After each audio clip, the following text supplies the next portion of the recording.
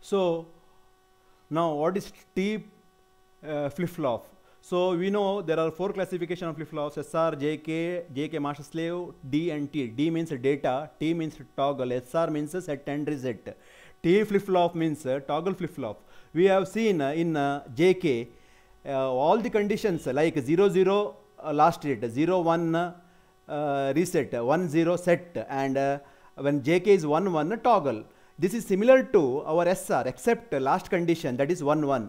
In, in the case of uh, in the case of uh, SR, uh, when SR is equal to 1 1, uh, output is illegal or forbidden. In the JK, when it is 1 and 1, output is toggle, output is toggle. So, by using this uh, uh, parameter, this characteristics, uh, they have developed one more flip-flop that is, that is called T. Otherwise, there is no difference between JK and SR, right?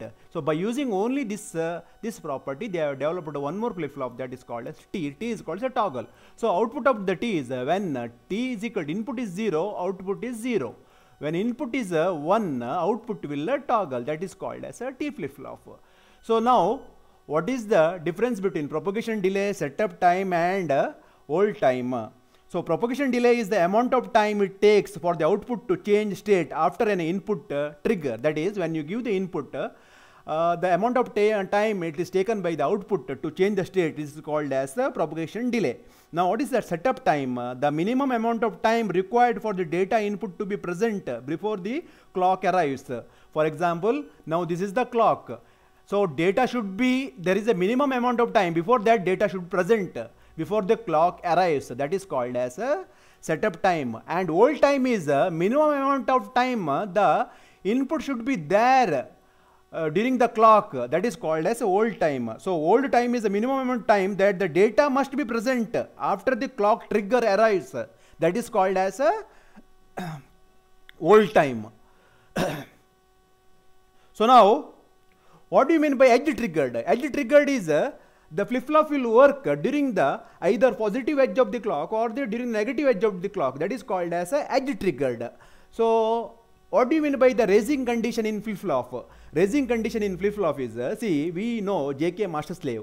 JK master slave, during the positive cycle, JK master will work. During the negative cycle, slave will work. But the, now the question comes, why we are using both master and slave JK flip-flops? Why can't we achieve output in one flip-flop by using one flip-flop only? Because when if you use one flip-flop, uh, the last condition, 1, 1, during the last condition, output changes uh, two times uh, during, uh, during uh, the uh, clock pulse during the clock pulse. This is called as a race around condition. In order to uh, overcome this one uh, we are using uh, master and slave in combination. That is the that is called as race around condition of the flip flop what is the difference between truth table state table and excitation table? So now what is the difference between truth table state table and uh, excitation table?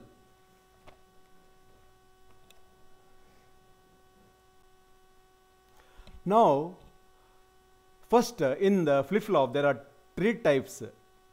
One is uh, transparent, second one is uh, semi transparent, third one is sequential. Transparent means uh, whenever you give the input, uh, output uh, changes. In the semi transparent, uh, input changes during the enable signal is high. In sequential, input changes uh, along with the clock either during the positive edge of the clock or the negative edge of the clock. This is called as sequential. So three types of flip-flops. So what is the difference between sequential and combinational circuits? Combinational circuits the present input the output is depend on the present input. Whatever input you give they are based on that output in uh, sequential uh, the present and the output depends on the present output depends on the present input also and uh, fast output and uh, input that is called as a sequential circuits so that is the difference between sequential and uh, this one. Now uh, what is the difference between truth table, state table, and excitation table? The difference between truth table is uh, truth table we know uh, which uh, is uh, the other way of uh, uh, the problem statement uh, in digital electronics. So which represent the uh, uh, status of the output uh, for the particular input condition that is called as a truth table. State table uh, with respect to sequential circuit, we are not calling it as a truth table. We are calling it as a state table because output is depends on not only the present input as well as the past output and past input. That's why it is called state table. And one more is there uh, that is called as excitation table. Uh, that gives a relationship, uh, that is a relationship that gives the design equation for uh, flip-flop inputs. So excitation table is the relationship uh, that gives the design equation for a flip-flop relationship. Sorry, flip-flop input that is called as excitation table.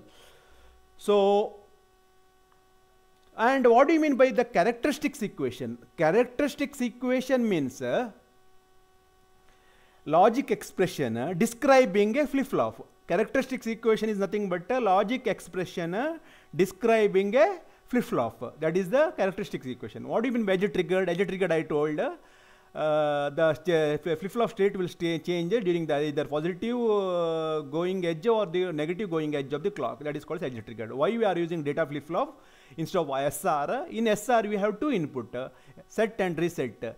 But uh, in data uh, this one D flip flop, what we did, uh, we have interconnected these two using inverter and uh, uh, named it as one single input that is called as D data. So it is very easy for serial data transmission. So what is so serial data transmission? Last one here, last question is here in this case. that is nothing but what is FSM? FSM is nothing but a finite state machine. So it is a functional description of the sequential circuit. See, one is FSM, second one is the characteristics equation, third one is the excitation table. All these things you should remember. So I repeat uh, once again, FSM is nothing but a functional description of a sequential circuits. And uh, characteristic equation is the logical expression describing the flip-flops and uh, excitation table is nothing but relationship that gives the design equation for flip-flops input. So these three things you have to remember.